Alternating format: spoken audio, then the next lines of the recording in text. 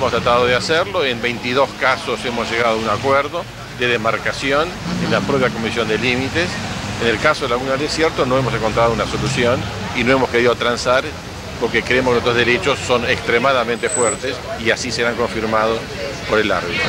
Ahora, más allá de la cuestión geopolítica, los argentinos siempre tienen la sensación que pierden territorio. Y esa es una psicología perdedora y derrotista que no corresponde con la realidad.